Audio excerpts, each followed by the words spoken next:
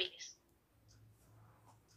Y usted se da cuenta que a veces usted también necesita liberación con estas cosas. Que su esposo, su pareja necesita liberación. ¿No? Porque la, la falta de expresión de amor puede, puede venir de alguna herida del pasado, de algún rechazo. El que no exprese cariño, el que no exprese sus sentimientos. Amén. Entonces, tiene que hablar. Una de las cosas que los cristianos, las parejas, eh, eh, dejamos muchas veces es, ya se arreglará, ya se hará en el futuro. Y no tocamos ciertos temas por temor, por temor a que alborotar un avispero, porque van a salir cosas del año de no sé qué, porque en eso somos expertas, hay que reconocer. El hombre ni se acuerda, pero nosotras sacamos cosas de cuando éramos novios. ¿Te acuerdas aquella vez? ¿No? Y empieza a revolver. Entonces, tenemos que también cambiar el vocabulario con el que hablamos. Saber que el Señor nos hizo diferentes, pero iguales a la vez. No ocupar el sitio del hombre. No ocupar, y, estoy seguro que ellos tampoco quieren ocupar nuestro sitio, nuestro lugar en el matrimonio como pareja. Pero debemos hablar. Un matrimonio fuerte, mi hermana, mire, son, es el nido donde crecen niños que se convierten en soldados de Jesucristo, cubiertos de amor, este, son fuertes emocionalmente. Entonces yo le diría, mire que esto me sirvió a mí. yo le estoy compartiendo una clase de la universidad. eh, y esta clase, este, eh, la, puso, la puse en práctica yo primero. Y dije, wow, ¿cuánto me estoy perdiendo? ¿Cuánto me estoy perdiendo? Cuando esta palabra vino a mi vida, nos miramos mi esposo y yo y dije, wow, hay que hacer cambios. Hay que hacer cambios. Y yo le animo a mi hermana a que sea valiente y empiece a hacer cambios en su vida. Mire, y cuando usted empiece a hacerlos en su vida, mi hermana, empiece a practicar en su vida, se le va a hacer mucho más fácil cuando vengan las parejas a pedirle a usted ayuda. Le van a decir, ¿qué hago ahora? Y ahora mi marido esto, y ahora mi marido aquello, y yo aquello, y yo a esto. Es importante reorganizar nuestra vida espiritual con nuestros esposos, nuestra vida eh, matrimonial, sexual. Eh, amén. Hay unas, unas pautas que son esenciales para que nuestro matrimonio vaya al fracaso. Y yo le voy a decir, mire, una de las pautas que nosotros, una de las cosas que nosotros hacemos, y es muy común, eh, es la apariencia. Y en las iglesias está lleno de eso. Empezamos con la apariencia, todo va bien. Un matrimonio ungido. ¿Qué tal, hermano? no, no, no. Mi matrimonio, uy, gloria a Dios. Uh, eso es un hogar ungidísimo empezamos con eh, la apariencia, la indiferencia. Ya se le pasará. No, luego, luego lo arreglamos en el futuro, ya después. Las palabras duras, mis hermanos, las palabras duras. El pensar que todo se soluciona solo, sin que usted entable una conversación, sin que usted le pida esa, vaya a los pies de nuestro Señor Jesucristo y pida dirección para hablar con su esposo. El ego. No, porque yo, si él fue que me hirió, ¿por qué voy a hacer esto? Somos tercos. orgullosos, queja, la queja siempre, la insensibilidad y por último el aislamiento. Yo no sé si a usted le ha pasado que cuando se pelea usted no quiere tocar ahí en la cama a su esposo, pone una pared invisible o pone almohadas ahí. ¿Quién hace eso? Yo no. A ver, yo qué usted qué hace. Yo pongo la almohada.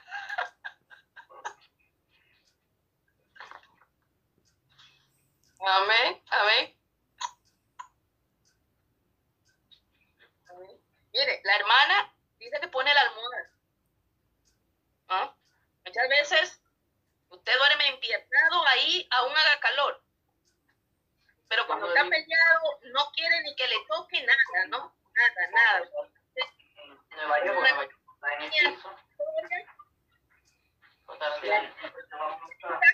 No, el piso, cama.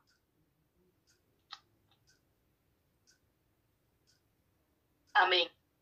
¿Y qué dice con respecto? ¿Quién se acuerda aquel versículo? ¿Qué dice el Señor con respecto de acostarnos peleados? ¿Quién dice?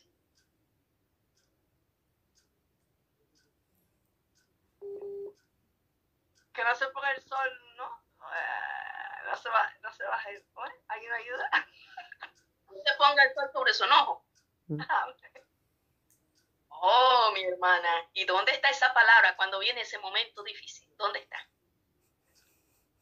¿Ah? Imagínese si aquella noche viene Cristo. No, claro. Padre amado, Señor, ¿cuál está ahí presente? A ver, ¿quién puede identificar qué emoción o qué demonio está allí? A ver. ¿Orgullo? Ah, bueno, ahí está orgullo. ¿Qué más puede haber ahí? No. ¿A quién más se le ocurre? ¿Quién más puede estar ahí? ¿Ego? ¿Ah? Sí, yo no. Ira. Imagínese. Ah, imagínese. No, la ira esa es la reina, ¿no? Porque. Incluso usted piensa palabras que ni dijo, pero todo el rato está. ¿No? Otra de las cosas importantes que me salte es el área, eh, eh, luego prosigo con esto, este, es el área eh, sexual, mis hermanas. Mire, el varón y la mujer nos, eh, nos somos muy distintos en el área sexual. Amén. Este, nosotras reaccionamos de una forma, los varones de otra. Los hombres son más por la vista. Nosotros somos más por el oído. Yo no sé usted. Em, este, cuando usted ve a su esposo que está muy emocionado, ¿no? Que le ayuda con la casa, que empieza a lavar los platos, ¿usted qué dice? Esto está raro. Esto quiere algo. ¿Verdad? Esto quiere algo, ¿no? Porque si no, aquí eso está raro, que barra, que aspire, que pregunte qué tal estoy. ¿No? Eh, y nosotras somos más por el oído. Oh, qué guapa te ves. Qué lindo. Oh, te has, te, te has hecho ese corte. Oh, te queda bien no dice, oh, no, el corazón empieza, ¿no? Y dice, oh, da ganas de darle un beso, de darle un abrazo y decir, ay, este es mi hombre, este es mi esposo. Claro, se da cuenta. Entonces, tenemos que tener también, ¿no? Eso claro. Ellos no van a actuar como nosotros actuamos. Ellos actúan de una forma distinta. Por eso, mis hermanas, eh, el área espiritual, mis hermanas, hace que en nosotros haya ese manto de gracia, de hermosura, que solo puede haberlo cuando el Señor está presente en nosotros. Pero esto no evita que usted se arregle, no que usted huelga a cebolla todo el día, ni que usted se levante la gañosa todo el día. Mi hermana, esa, mire, el hombre es por la vista, es algo que a él le atrae los hombres, y, yo me, y yo me atrevería a decir que incluso cuando vienen a Cristo, o sea, cuando el hombre viene a Cristo, mire, hay muchos hombres que, sufren con lujuria. con, con ellos están pendientes, es, un, es una área que ellos tienen que tratar y sujetarla a mi Señor Jesucristo. Tiene que estar, mire, hay un, un, amor allí que, que, que es eh, inevitable, está allí, está presente. Pero como mujeres también debemos de alimentar a ese amor. A veces pasan los años, mis hermanas, y a veces pensamos que como está allí, no, tampoco hacemos nada. ¿Verdad? Tenemos que avivar esa llama también. Tenemos que avivar ese matrimonio. ¿Verdad? Tenemos, yo qué sé, invéntese alguna salidita. A veces cuando nosotros tenemos niños, mis hermanos, es complicado buscar ese momento. Es difícil eh, eh, buscar ese, ese, ese momento de como fortalecer, de hablar. Cuando su pareja, incluso si su pareja está, trabaja en el ministerio, es difícil, mi hermano, incluso hay que pedir cita. Mi esposo trabaja en el, ministerio del y tengo que pedir cita, yo tengo que pedir cita. ¿Será que está desocupado tal día? Dice, no, tal día tengo una liberación, tal día tengo... Bueno, ah, ¿verdad? Entonces, yo no sé cuánto de los hombres ¿Cuántos de los esposos suyos trabajan para el Señor? Entonces es importante, mis hermanas, que usted sea ese pilar para su esposo y su esposo encuentre usted ese pilar también. Pero eh, no nos descuidemos, mis hermanas, del, del área espiritual, no nos eh, descuidemos del área sexual, es importante. Y también de la intimidad emocional. Los hombres, tanto como nosotras, son seres humanos hechos a la semejanza de Dios y necesitan escuchar esa palabra de afectiva, de reafirmación. Que usted lo bendiga, que usted ore por él. Amén. Entonces, yo no sé cuántas estarán de acuerdo aquí con eso. Yo no quiero que usted esté de acuerdo conmigo, sino con la palabra del Señor. Efesios 5, 15, 21 dice así la palabra del Señor. Mirad pues con diligencia como andéis, no como necios, sino como sabios, aprovechando bien el tiempo, porque los días son malos. Por tanto, no seáis insensatos, sino entendidos de cuál sea la voluntad del Señor. No os embriaguéis con vino, de lo cual hay disolución, antes bien llenos del Espíritu Hablad entre vosotros con salmos, con himnos y cánticos espirituales, cantando y alabando al Señor en vuestros corazones, dando siempre gracias por todo al Dios y Padre, en el nombre de nuestro Señor. Amén. Eh, mis queridos hermanas, nosotros en el matrimonio no vamos a encontrar una alma gemela nuestro esposo no es igual a nosotros. No es lo que nos hace aceptables y lo que nos hace que ese amor perdure en el tiempo es la presencia del Señor en él. Eh, el Señor nos invita a no andar como necios. Nos invita que aprovechemos, como decía el versículo, el tiempo. Involucrémonos en las cosas del Señor pero también no olvide su matrimonio, mi hermana. No olvide sus hijos, mi hermana. Fortalezca su hogar, fortalezca su matrimonio. Eh, cuando mantenemos conversaciones, eh, es importante también hacer una valorización de lo que hablamos. Eh, tú nunca, tú nunca haces esto. Cuando venimos a los pies del Señor, somos llamados a hablar, como decía el versículo anterior, Efesios 5, 15, 21, lo repito.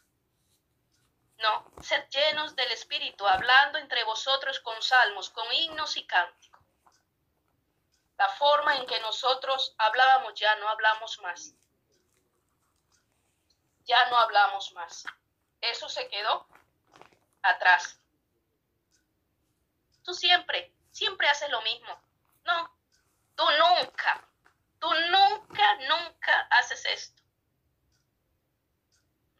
Son palabras que marcan y usted marca a su esposo con esas palabras. Entonces, tenemos que cambiar nuestro vocabulario cuando venimos a Cristo.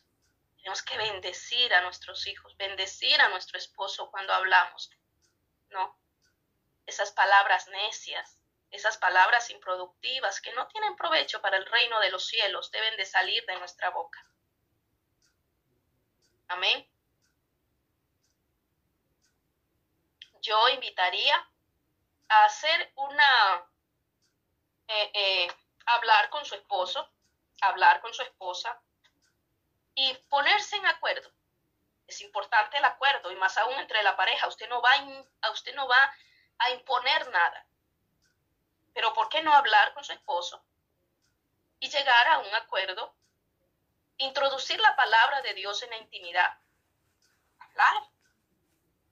Su hora de descanso con su pareja, con el que esté junto. Yo creo en nosotros es la noche, porque en el día andamos todo la noche, compartir alguna palabra, orar juntos. Una oración corta, tampoco se esmere allí horas y horas, porque esa hora uno quiere descansar. ¿Verdad? Sea sabia. No, pero una oración allí, ¿no? Empiece así. Y si él no quiere orar, empiece usted con una oración corta, tampoco empiece las oraciones a, a, a quejársele a Dios delante de su esposo. No es buena estrategia, mi hermano. Eso es para su intimidad con el Señor. Ore con su esposo, bendígalo en oración, pero no le vaya a decir mientras está orando, no, Señor, mira hoy, Padre, mi esposo lo que hizo, Señor, cambia a mi esposo, Padre, y es que mi esposo es, no, mi hermano, o sea, ¿cómo vamos a terminar eh, eh, aquella noche?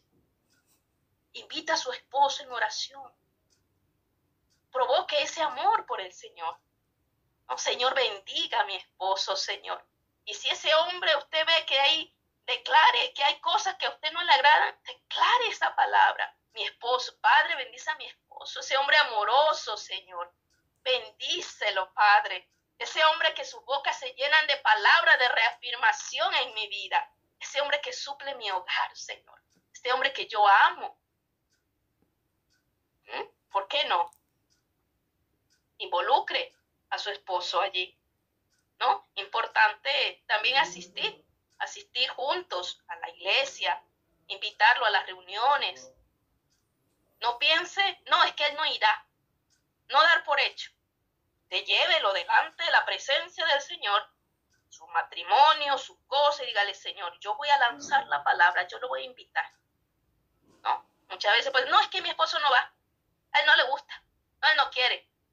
Llegará un día que dirá, oh, me llevas llevas a la reunión? ¿No me has dicho nada? Invita a su esposo a las reuniones. Es importante. Amén. Adorar juntos. Oh, qué lindo. Mi esposa, eh, eh, la, hermana adoraba. Imagínese adorar juntos al esposo. Con, con el esposo. Y eso tiene precioso, mi hermana. Eso es otro nivel ya, pienso yo. Amén. Gozar juntos de la creación, de todo lo que el Señor ha hecho. Salir, no es preciso gastarse mucho, mi hermana. Salir, conversar, tomarse un helado, caminar juntos. Y si fuera posible, si fuera posible, imagínense, un retiro juntos, eso tiene que ser poderoso. Yo de verdad tengo un anhelo en mi corazón. Un retiro de matrimonios nunca he ido. Nunca he ido. No sé quién de aquí ha estado en un retiro de matrimonios. Pienso que eso tiene que ser, si cuando uno va sola, uno sale como nueva. Un retiro de matrimonios tiene que ser poderoso. Cuando uno habla, mis queridos hermanos, es más que palabras. El Señor dice hablar con salmos, con cánticos Mire, ah, cuando nosotros usamos el teléfono, yo no sé si a usted le ha llegado algún mensaje y dice y no entiende si lo que le está dando es una, me está reclamando, me está diciendo, me está contando, cuál es este, qué es el mensaje. Cuando nosotros hablamos, mis queridos hermanos, con nuestra pareja, con nuestra, eh, es importante no solamente las palabras, el gesto, cómo usted lo dice, cómo usted mira. Y, y, esto es importante en todo, en las relaciones como hermanos, como cristianos. Es importante la comunicación, cómo nos expresamos, cómo hablamos con los demás. Amén. Los gestos. Tenemos que alinear nuestros pensamientos con lo que expresamos. El Señor nos ha dado tantas cosas para expresarnos, la mirada. A veces, yo no sé si con su esposo, hay, hay veces que no es preciso decir nada, simplemente usted mira y ya su esposo sabe lo que usted quiere, lo que le gustó o no le gustó. Ya, ya su esposo sabe que algo no le gustó a usted con esa mirada y, y es un lenguaje, es un lenguaje. Eh, Filipenses 4.8 dice, por lo demás, hermanos, todo lo que es verdadero, todo lo que es honesto, todo lo justo, todo lo puro, todo lo amable, todo lo que es de buen nombre, si hay virtud alguna, si algo digno de alabanza, en esto pensad. No retirarse, hermana, no aislarse, no utilice amenazas, no interrumpa cuando la otra persona está hablando. Eh, y sobre todo, mis hermanas, no utilizar palabra de divorcio. Esto no entra en el plan de Dios. Palabra de divorcio y palabra de separación es una palabra que no se puede usar entre los matrimonios porque no entra dentro del pacto de Dios. Amén. ¿Cuántas están aburridas? Le seguimos un poquito, ya terminamos. Amén. Cuando nosotros interrumpimos, cuando nosotros nos defendemos, hermana, le negamos al Señor que saque cara por nosotros. Dice que Él es el que nos defiende. Él. Cuando nosotros empezamos a, a interrumpir, a querer defendernos, hay una parte de incredulidad en nosotros. Entonces, y eh, yo he, traído este tema delante de ustedes, los matrimonios, porque no solamente es importante por lo que usted vaya a ministrar en el futuro, sino como usted, como eh, hija de Dios, eh, el que empiece a valorar, en que empiece a hacer cambios en su vida a nivel de matrimonio. Y la que no se ha casado dirá a lo mejor, no, es que yo no me he casado, pero se casará en un futuro ya me hubiera gustado a mí que algo de esto me hubieran dicho.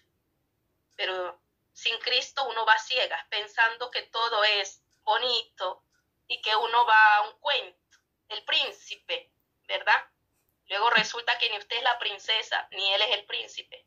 No, ahí venimos todos rotos, todos rotos. Yo, eh, es maravilloso cuando yo no tuve esa oportunidad, pero es maravilloso cuando jóvenes se casan salen de, a un matrimonio con, con conocimiento en Cristo, lo que es un verdadero matrimonio. Yo no lo tuve, Así que la que no se ha casado, no menosprecie la palabra porque algún día le ha de servir y espero que, la, que se acuerde. Amén. Eh, Santiago 1.19 dice, por esto, mis amados hermanos, todo hombre sea pronto para oír, tardo para hablar y tardo para irarse.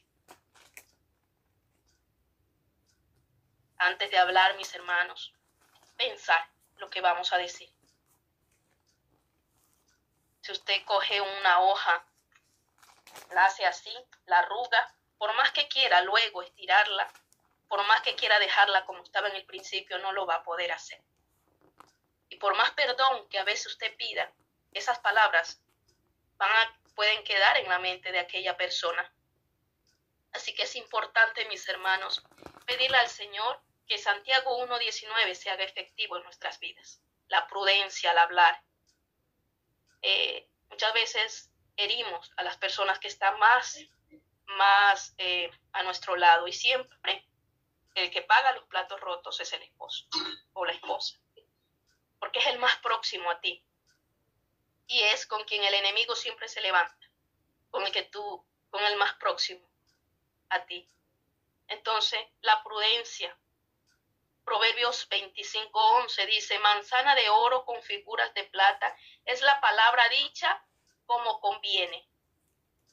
Qué precioso. No. No acudamos a la intimidación, a aventajarnos, a la culpa, a dominar, ni al control. A veces la culpa puede ser una de las cosas que salga a la luz cuando nosotros nos encontramos eh, enfadados, cuando nosotros nos encontramos en esa situación inapropiada delante del Señor. No, amenazar con divorcio, con separación, a querer dominar la conversación o la pelea a través de la culpa. Lo que me hiciste, mira lo que me hiciste, mira. Son cosas que ya eh, no proceden delante de eh, en los hijos de Dios. Las palabras siempre deben de edificar al cónyuge, no destruirlo en ningún momento, ni disminuirlo, ¿no? Debemos hablar con franqueza, con honradez y no jugar a la dependencia, no crear culpa en el otro, no caer en la manipulación y no exponer a la pareja al ridículo, no usar los errores del cónyuge a mi beneficio. ¿Quién ha caído aquí en la manipulación? Nadie de aquí. Solo yo antes. No. no. La manipulación. A manipular, a quedarlo en ridículo. Hablar del, del esposo cuando el esposo delante de la gente. Yo no sé si usted ha escuchado. ¿Quién de aquí ha escuchado hablar de los esposos de, de otros? No es que mi esposo, no. Lo dejen ridículo delante de la gente. Eso, mis hermanas, no procede delante del Señor. Efesios 5:15, sino que siguiendo la verdad en amor, crezcamos en todo en aquel que es la cabeza. Esto es en Cristo Jesús el sarcasmo, el desprecio, la técnica del cerrojo. Mm, la técnica del cerrojo. Esa es una de las cosas, mi hermana, que eso no procede tampoco, ¿no? Mis hermanas, eh, el chantaje en el matrimonio es una de las cosas, y yo ya voy terminando con esto. El chantaje en el matrimonio es muy común. No sexo, porque estoy enfadada el chantaje con el sexo, el chantaje con la intimidad. ¿Quién lo ha hecho? Tampoco, nadie lo ha hecho aquí. ¿No? O sea,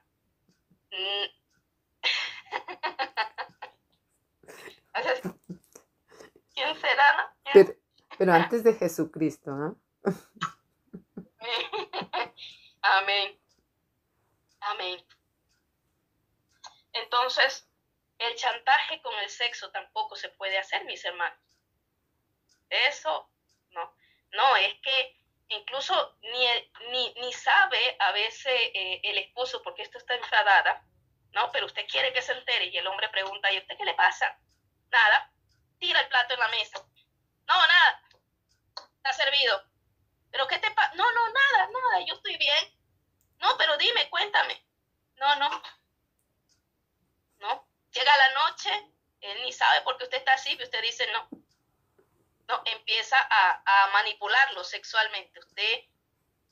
Entonces, eh, eh, el chantaje a través del sexo tampoco, mis hermanos. Eso ya, mire, el Señor lo tiene ya controlado todo. Tampoco vale.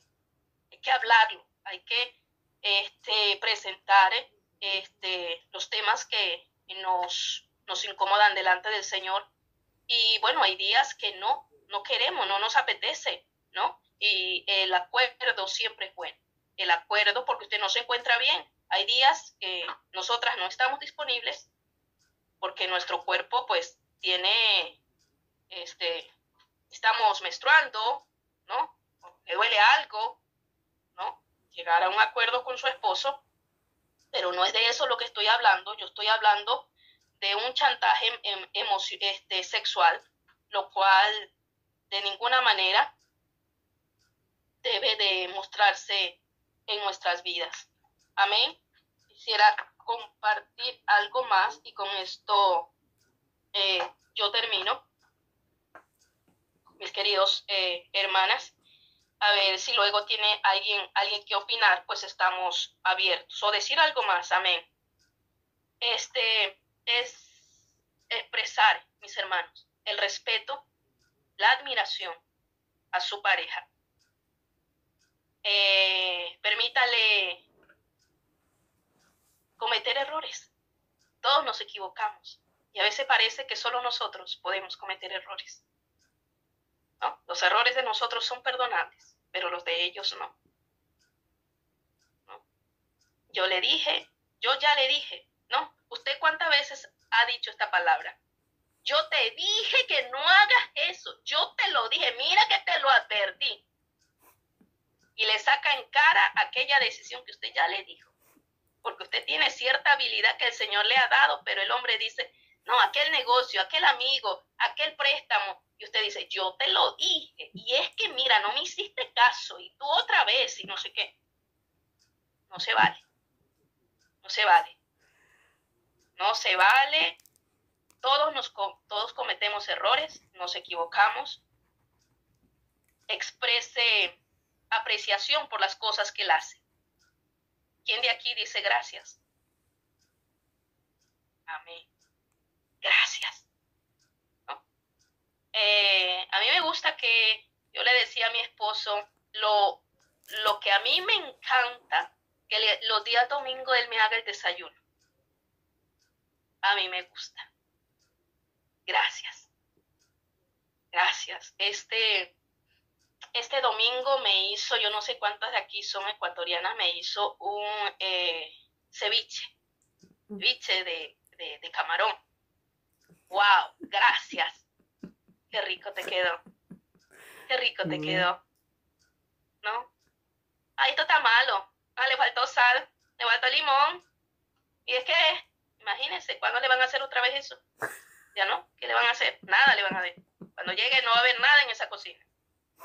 Gracias. Qué bien lo has hecho. Mm. Hablar con propiedad. Muestre interés muéstrese, no solo en las conversaciones, muestre interés cuando la persona le habla, muestre, aunque sea usted cosas que no le guste. A lo mejor las herramientas, a usted no quiere saber nada de herramientas. Usted no quiere saber nada de, de obra, de centímetros o de metros que hizo. Muestre interés, muestre interés y muestre interés en el sexo. Es importante mostrar interés en el sexo no sea empujada nomás, como que eh, eh, a veces le damos el papel al hombre como es que solo él tiene que cortejar. ¿Por qué no nosotras tomar la iniciativa? Y no se sonroje. Este, muestre su interés en el área sexual, demuéstrele a su esposo que usted le ama, no solamente sexualmente, con palabras. Amén. Eh, reafirme a su esposo, ore por él, hágalo con amor evite palabras duras. Eh, evite las, las palabras siempre, te lo dije, no, tú no escuchas. Evite sacar en, en cara cosas que ya pasaron hace mucho tiempo, de nada sirve. Aquellas cosas que pasaron de soltera, aquellas cosas, aquella novia que tuvo, ¿de qué le sirve a usted si está casado usted con él ahora? ¿De qué le sirve? Aquellas cosas que pasaron hace tanto tiempo. Servíos por amor los unos a los otros. Gálatas 5:13. Y creó Dios al hombre a su imagen, a imagen de Dios lo creó, varón y hembra los creó. Amén. Y esta es la vida eterna, que te conozcan a ti, el único Dios verdadero. Juan 17:3. Termino con este versículo. No solamente tenemos que honrar a Dios en oración, es importante la conexión espiritual con Dios es necesaria. Sin esa nos secamos y nos morimos. Pero no nos olvidemos de, de, reforzar nuestra relación con nuestro esposo, con nuestra esposa, eh, eh, es importante este, que conozcamos a Dios juntos, que oremos juntos, que oremos juntos. Eh, si su esposo no conoce a Cristo, no imponga nada.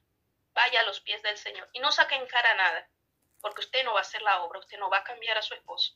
Quien va a cambiarlo es el Espíritu Santo de Dios, así como usted hizo un pacto personal con Él con mi Señor Jesucristo. Él necesita un encuentro personal con mi Señor Jesucristo.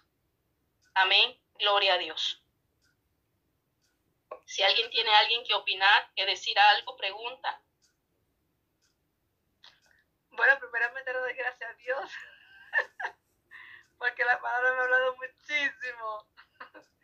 bueno, claro, cometo muchos errores que, que usted dijo, ¿ah? Bueno, y a mí